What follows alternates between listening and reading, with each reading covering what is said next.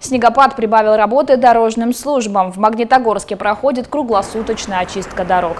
Так, только за минувшую ночную смену подрядной организации «Южуралмост» было вывезено около полутора тысяч тонн снега. В целом, за сутки на дороге вышло более 120 единиц техники. Каждый участок снегоуборочные машины проходят по несколько раз. Технология состоит в том, что производятся следующие виды работ, что сначала очистка проезжей части, сгребание подметание снега, потом формирование снежных валов для последующего вывоза, раздвижка снежных валов и последующий вывоз. Также удаляется на дорогах.